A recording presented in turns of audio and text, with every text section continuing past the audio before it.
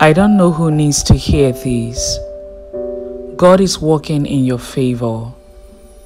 If the door closed, then best believe that something better is going to open up. You don't have to manipulate things, try to convince people to like you, or force the door to open. What has your name on it will come to you. I know sometimes we get impatient. We think we are missing out and we are falling behind. But know that what belongs to you is not going to go to anyone else. God is saying to you today, when the time is right, I, the Lord, will make it happen. Believe and trust God with all your heart.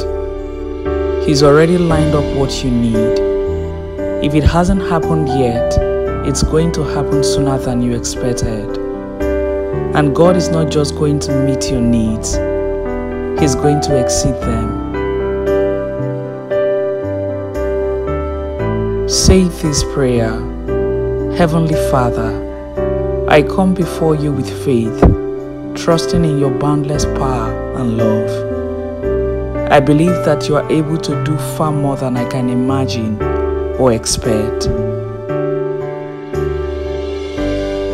Guide my steps and fill my heart with hope, knowing that your plans for me are greater than I can conceive. Thank you for your unwavering presence and for the miracles that are yet to come in Jesus' name.